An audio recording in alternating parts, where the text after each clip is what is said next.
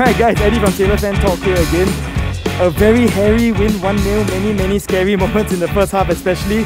I have with me here Ashraf. It's the first time I've seen him at the game, but Ashraf, I want to hear your thoughts on the game. Well, uh, Eddie, I think today's game is quite a very challenging one. Uh, the the Rovers put up uh, a good fight, but then we still managed to pull through. But then a uh, 1-0 win is still something, uh, it counts as a 3 points also. So I'm satisfied with the win. Uh. Yeah. All right, I think that makes a lot of sense. So three points is a win, we move on, right? If the team needs to improve, the team needs to improve. Yes. Ashraf, tell me, who was your man of the match? I have to say it was Hassan Sunny because he put in a lot of great saves, uh, kept the clean sheet, even though uh, there are some calls that were quite not going our way, but then still he managed to pull out some amazing saves today. And yeah, I think we deserve to win. Uh. All right, there were two disallowed goals. Frankly, from the stands, could you tell whether they were wrongly or rightly disallowed?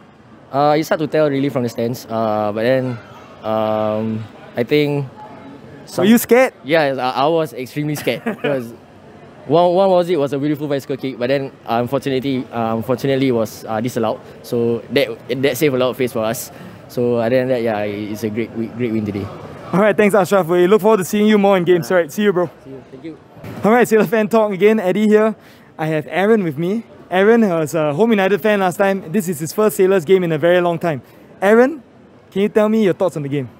To be honest, I mean, um, the whole match, Tampines was were the better team. But in football, if you don't take your chances, and um, I think the penalty was a, quite a stupid foul to make. And at the end of the day, we got the penalty, we got a goal. So I would say it was a lucky three points, but a win is a win. So champions grind out results at the end of the day.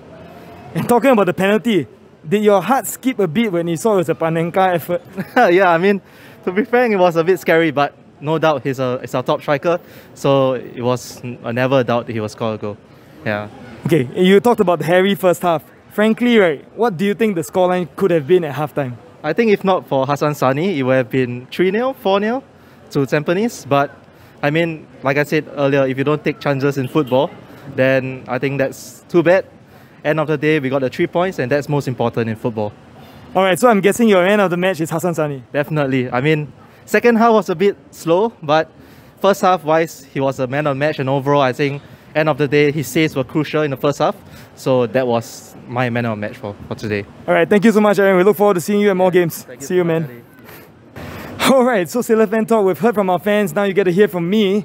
I think honestly, we're a bit lucky this game. We we were really lacking in the first half. I don't know what the problem was. They found a lot of space in midfield. They broke through our lines a lot. And Taufik Suparno, for a while, looked like he was like a world-class player. And no slight to Taufik Suparno, that shouldn't be the case. So really, I hope we improve. And next week, we're going to need that improvement because it's against Albirex. But you know what? We're confident. We're Sailors fans. We think we're going to win that. And we will not be as nervous this time. So let's go. Let's go. Come on. See you.